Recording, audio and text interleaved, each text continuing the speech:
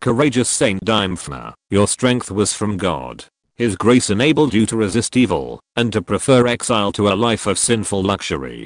Christ's own power preserved you faithful to him in life and in death. In your kindness, help us to imitate your example in little things, and gain for us fortitude, to bear with the misfortunes we meet, and strength to overcome our weakness. Amen. Take the Word of God with you anywhere with our free Catholic apps and resources. Get them now at missaldaily.com.